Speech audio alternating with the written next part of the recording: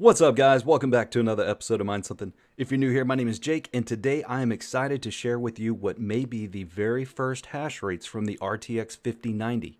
And if that kind of content sounds cool to you, do me a favor, smash that like button, and if you aren't subbed already, hopefully this is the video that earns your subscription. So before we get to hash rates, there is some preliminary data that I want to go over with you guys, courtesy of Linus Tech Tips, Gamers Nexus, and Hardware Canucks.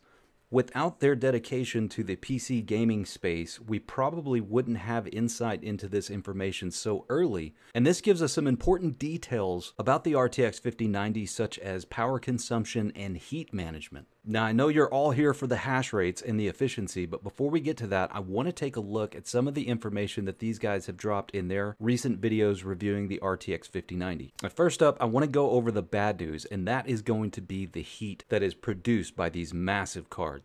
This first screenshot is from Gamers Nexus, and this shows us that the RTX 5090 is pegging 90 degrees Celsius on the memory temps with a fan speed of 80%.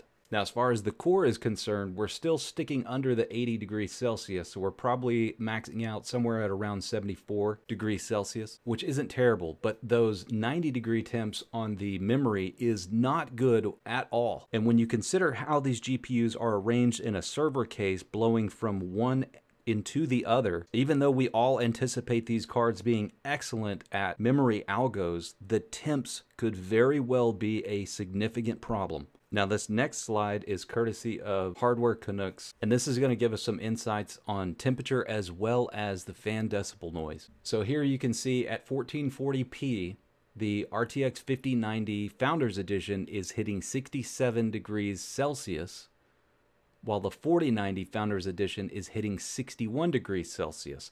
That's a temperature variance of 6 degrees.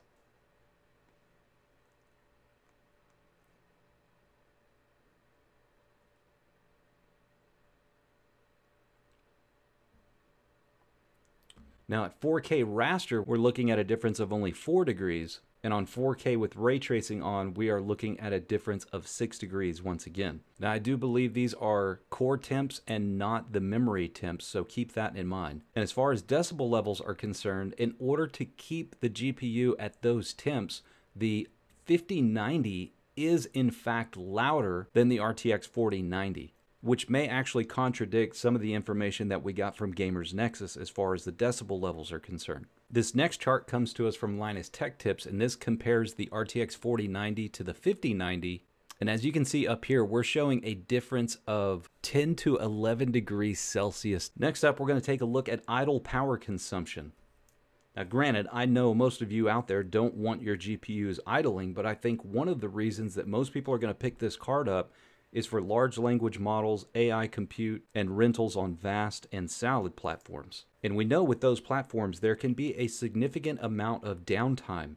And when you have a lot of downtime, you do need to be concerned with idle power consumption. The RTX 5090 Founders Edition is coming in at second to last place, 46.16 watts. And when you compare that to the RTX 4090 at 28.54 watts, that is basically about double. Now, sure, if you're only rocking one of these GPUs, that's not going to make a significant amount of difference. But if you have a farm full of these GPUs, that is certainly something to be concerned with. Next up, we got a variety of different games and the different power consumptions between the RTX 5090 and the 4090. So on average, the RTX 5090 is coming in about 100 watts more than the RTX 4090 when it comes to playing games in 4K. However, with 4K ray tracing on, we're looking at a difference of about 120 watts. And at 1440p, we're looking at a difference of roughly about 75 watts. So we know as a whole at this point that the RTX 5090 is going to have quite a bit more power consumption when playing games and when idle. And we also know that it is going to run extremely hot. But the bad news doesn't stop there. We have an article on Reddit saying that NVIDIA has removed the hotspot sensor data from the GeForce RTX 50 series GPUs. So according to this article from VideoCardz, not only did they remove the hotspot temperature sensor on the 5090, but they did in fact confirm that most likely it will be on all the 50 series cards. Now when it comes to removing this sensor on a graphics card that uses 600 watts, I personally don't think this is a good idea, and you really got to ask yourself why did NVIDIA decide to do that? Now, if you've watched my previous videos about speculating on the RTX 50 series performance when it comes to mining and AI workloads, money spent versus performance, I don't think this is going to be the card to run out and buy. But thanks to a community member, Mr. Millerman, he posted this screenshot in our Discord showing hash rates for the RTX 5090 thanks to NiceHash. So perhaps they got their hands on this RTX 5090 and this isn't just speculation, but it's going to be a little while before we find out. So let's go ahead and take a look at what they've got listed. So here I am comparing the RTX 5090 to the RTX 4090 and we can see on ETHash we're looking at 160 megahash at 290 watts. On Nexa we're looking at 365 megahash at 400 watts. Blake 3 7.8 gigahash at 410 watts. Zelhash 195 sols at 280 watts, Autolykos at 355 megahash at 215 watts, and KawPow at 85 megahash at 360 watts.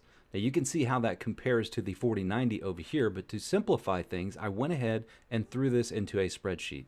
So here we've got KawPow, Nexa, Ethash, Zelhash, Autolykos, and Blake 3.